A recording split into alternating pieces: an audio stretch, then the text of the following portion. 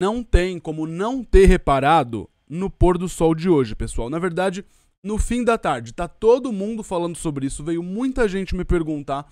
Decidi gravar esse vídeo juntando esse assunto também, porque a gente traz aqui informações importantíssimas hoje, tá? Inclusive informação que não é tão animadora assim, que não é tão legal. Tem três coisas muito importantes para passar para vocês hoje. Em primeiro lugar, o que está acontecendo com esse céu? Não é só no Brasil, em vários lugares do mundo isso também está sendo registrado hoje. Em segundo lugar, bang, se liga nisso, está acontecendo nesse momento uma explosão solar de radiação bem forte, tá? E como se não bastasse, surgiu uma mancha solar aqui reveladora, pessoal. A gente acaba de trazer uma novidade aqui para vocês, exclusivo aqui. Eu tenho certeza que vocês não ouviram falar isso em nenhum outro lugar, porque aqui a gente está fazendo uma breaking news total, informação de última hora aqui para vocês. Richard, o que está acontecendo? Devemos então correr para as montanhas, né? Vamos falar sobre tudo isso aqui com vocês, mas como faria Jack, que está o tempo todo de olho no sol, vamos por partes. E isso que vocês estão vendo é um filamento bem grande, bem considerável, que se desprende ali do sol, ó, bang, olha isso. É lançado para o espaço, tá? E isso aconteceu hoje, dia 23 de agosto. Pelo visto, vai ter alguma coisa chegando aqui na Terra a partir do dia 26, mais ou menos. Esperem por isso. Além disso, eu dei até um aviso que é possível que a gente tenha alguma atividade geomagnética, ou seja, alguma tempestade solar para esse fim de semana também. Então fiquem ligados, porque tem coisa vindo, né? Tem coisa sendo disparada pelo Sol e algumas delas podem acabar pegando a Terra também, tá? E isso que vocês estão vendo, olha lá, ó, bang! É uma explosão de radiação de classe M de longa duração, M5.1, tá bom? Tá durando um total, para vocês terem uma ideia, de praticamente duas horas. Duas horas de uma explosão solar bem forte acontecendo sem parar. Produzindo aquilo que a gente já sabe, né? Blackout de rádio, problemas de GPS, problemas de comunicação, né? E a região que cria isso, pessoal, é a R3780. E essa região, ela tem uma coisa muito particular, ela é uma mancha solar extraordinária, e é isso que vocês estão vendo, ó, 3780. Ela revelou uma coisa muito importante pra gente agora, que eu vou falar pra vocês nesse vídeo, quem tá vendo esse vídeo vai ficar sabendo disso em primeira mão aqui no Brasil, tá? Talvez no mundo também. E isso revela uma coisa muito importante, já falo sobre isso com vocês, porque agora a pergunta que não quer calar, né? Richard, que céu é esse, esse céu acinzentado estranho, esse sol com uma cor estranha. Todo mundo tá falando sobre isso hoje, né? 23 de agosto de 2024, sexta-feira. Parecia até que ia chover, né? Eu saí, uh, dei uma volta e eu vi que parecia que tava um céu muito estranho, muito bizarro mesmo, mas era diferente de um céu escuro por chuva. O sol ele também tava muito estranho. Sabe uma coisa que não tá estranha? o like que vocês deixam quando vocês gostam do vídeo, né? Quem estiver gostando, não esquece, deixa o like, se inscreve no canal e ativa o sininho das notificações para não perderem um vídeo novo. Quem quiser ajudar ainda mais e ter acesso a conteúdo exclusivo e ter o um nominho passando como esses que estão passando aí, que são nossos patrocinadores, é só clicar aqui embaixo em tornar-se membro ou em seja membro para ter acesso a conteúdo exclusivo e ainda por cima dar aquela força pro nosso canal. Conteúdo exclusivo e esse, né, que inclusive a gente teve ontem um vídeo aí exclusivo para membros 22 de agosto de 2024. Mas voltando aqui, né, para esse sol acinzentado, eu até corri para as montanhas aqui para filmar para vocês. Se liga nisso, eu vou dar um play aqui agora. Olha lá, ó. Filmei ali o céu, tava muito estranho. O sol tinha acabado de se pôr, então já não tinha mais sol no céu, infelizmente. Tirei algumas fotos ali. Nem parece que tem alguma coisa ali no céu, pessoal. Mas tem, tá? Eu vou dar um zoom aqui, ó. Richard, que zoom top é esse? Esse é o celular S23 Ultra da Samsung. É simplesmente absurdo, pessoal. Com um celular desse agora, os OVNIs que podem ser filmados, né, devem ter uma qualidade muito diferente daquelas que a gente está acostumado. E para vocês terem uma ideia, olha como que tava estranho esse céu. Olha como que tava estranho, que aqui geralmente eu consigo ver tudo perfeitamente, tá? Isso é uma distância aí de mais de um quilômetro, dois quilômetros mais ou menos, e dá pra ver perfeitamente. Mas hoje não, hoje eu não conseguia ver nada, quase eu não conseguia ver o próximo quarteirão, para vocês terem uma ideia. Passou um negócio estranho ali, ó, se liga nisso. Olha lá, eu falei, ué, o que, que é isso? Aí eu dei um zoom lá, nem dei o um zoom tão forte, ele chega 100 vezes de zoom, ó. Eu só dei 42 vezes de zoom e aí eu consegui fazer essas imagens aqui, ó. Se liga nisso, olha esse pipa. E olha ali, ó. Aqui, ó. Não tá dando pra ver nada, né? Visibilidade zero. Por conta desse céu absurdo. Aqui eu vi que não era um OVNI, era um AVNI, né? Um animal voador não identificado. Pode ser uma pomba, pode ser um gavião, não sei o que, que vocês acham, deixa a opinião aqui nos comentários, mas tá aí, né? O zoom absurdo desse celular, inclusive, pessoal, ele tá numa promoção imperdível, tá? Olha o preço que tá esse celular em 10 vezes sem juros no site da Amazon. O link eu vou deixar aqui embaixo na descrição. Se você já está pensando, né, de trocar de celular, alguma coisa assim, usando esse link você, além de garantir esse preço incrível, né, ó, tá 42% de desconto em 10 vezes sem juros, você ainda vai estar tá ajudando o canal Galeria do Meteorito. Mas voltando aqui, né, no Sol, o que está causando isso, Richard? São essas explosões solares, é essa explosão solar que está acontecendo agora? O resultado disso, pessoal, é basicamente um tempo seco extremo, extremamente seco. A umidade hoje, eu tenho um monitor de umidade aqui em casa, ela não passou de 20%. No momento mais úmido do dia foi 20%. Tá tendo muita queimada no Brasil. E isso que vocês estão vendo, olha o que saiu agora no Metsul, pessoal. Eu vou dar o play aqui agora, se liga nisso.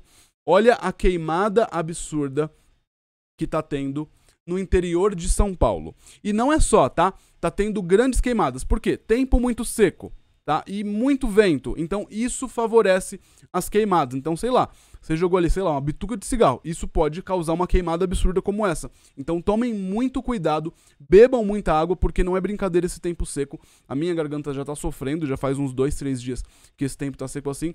Hoje chegou nesse ápice, né? Mas uh, esse é o resultado, esse céu absurdo é o resultado disso tudo. Tempo seco, muita queimada. Inclusive, quando eu corri para as montanhas para fazer aquela filmagem que eu mostrei para vocês, eu vi cinzas, pessoal. Tinha cinza mesmo, como se tivesse, sei lá, uma brasa pegando fogo ali próximo, mas não tinha nada. Só que eu tava vendo cinza caindo do céu.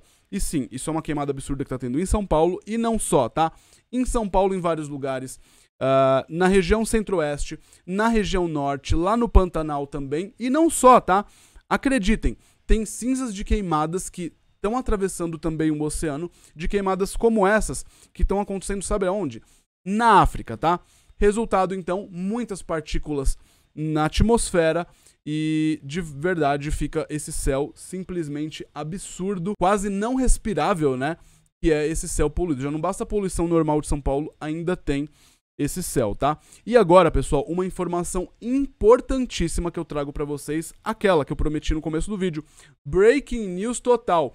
Isso que vocês estão vendo é uma região ativa reveladora. Ela ganhou o nome de AR 3800. Repara como ela surge do nada e ela cresce do nada, né, ó. Só que ela tem uma coisa. Ela não tem uma polaridade tão complexa assim, se a gente for olhar, ela não tem nada que a gente fala, olha, uau, que mancha solar absurda. Tá se tornando um tanto complexo, ok? Polos negativos, polos positivos, tá um pouco embaralhado ali, mas nada demais. Por enquanto, ela tem polaridade beta, ou seja, tem um positivo e tem um negativo muito claro, muito definido. Eu acredito que vai virar beta gama hoje ainda, talvez, tá? Ela deve ganhar uma polaridade beta gama. Tá se tornando complexo, mas não é por isso que ela tá chamando atenção. Foi ela que produziu essa explosão solar que está acontecendo já quase duas horas hoje, né? 23 de agosto.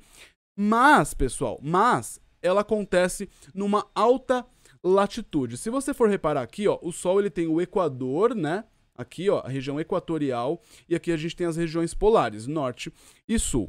Ela acontece no hemisfério sul a 27 graus abaixo da linha do Equador do Sol.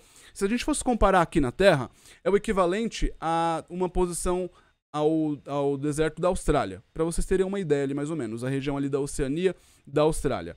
Isso no máximo solar não acontece. Isso no máximo solar não existe.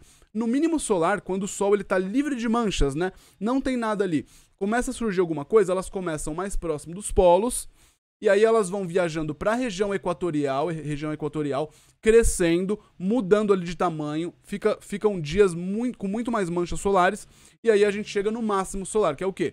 Muitas manchas na região equatorial, uma quantidade absurda de manchas na região equatorial e nada de manchas próximo dos polos. Só que isso acontecendo a 27 graus de distância do Equador, pessoal, são os estágios iniciais. Isso não acontece, são os estágios iniciais de um pico solar. É o que diz, ó, opa, tá chegando o pico do ciclo solar, tá? Resultado, o pico tá só começando. A gente achava que a gente já estava no auge desse máximo solar e que a tendência agora era começar a cair a partir do ano que vem, alguma coisa assim. Só que isso é revelador e uma informação aqui, como eu disse, breaking news total para vocês, tá? Isso mostra que, de acordo com os dados que a gente consegue verificar aqui, é, dados esses que foram feitos pelo Centro de Excelência é, Terrestre e Solar, eles fazem todo o estudo de todos os ciclos solares. Quando a gente tem, olha aqui, ó, comparando com os ciclos solares anteriores, tá? Quando a gente tem mancha solar, região ativa com mancha solar, que é isso que a gente está tendo agora aqui, tá? Numa distância de 27 graus do Equador, significa que a gente está começando a entrar no máximo da atividade solar. Isso que vocês estão vendo é o pico do ciclo solar 25. Aqui, o pico estava sendo estimado para 2025, tá? Mas muita gente estava falando, ó, a gente está batendo muito recorde aqui, ó, saindo completamente da curva uh, de previsão da quantidade de manchas solares. A gente está batendo recorde com uma atividade solar uh, que já há mais de 20 anos que a gente não tinha. Para vocês terem uma ideia, está sendo muito maior do que o esperado para esse ciclo solar, que o ciclo solar ele leva 11 anos ali, né? Está sendo muito maior do que o esperado e está sendo maior do que o anterior também. Então o Sol ele está muito dinâmico tá deixando todo mundo com a cabeça bugada. E agora, mais ainda, por quê? Como estava batendo muito recorde aqui, muitos cientistas estavam pensando: olha, pode ser que a gente já chegou no pico e a gente já está nesse auge, a tendência agora é só cair. Só que isso que vocês estão vendo revela que não, tá? Isso revela que a gente está chegando no máximo solar. Ele ainda não chegou.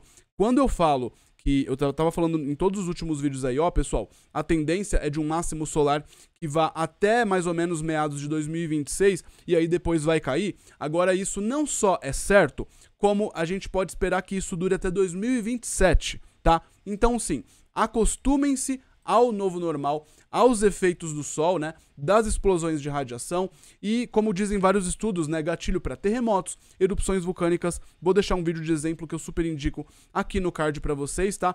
Acostumem-se também a essa atividade solar mais intensa e ao impacto que ela traz para a vida na Terra. Não estou falando só do impacto na vida animal, né, de animais migratórios que sofrem com tempestades solares, tempestades geomagnéticas, que mexem com as linhas de campo magnético da Terra.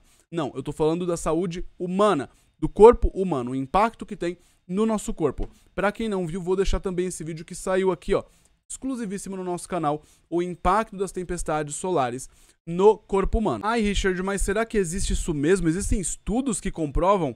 Vou deixar um exemplo para vocês aqui nesse box, tá certo? Bom, pessoal, então basicamente é isso. De olho no sol, mais do que nunca, e agora por um bom tempo. E até a próxima. Fui. Tchau, tchau.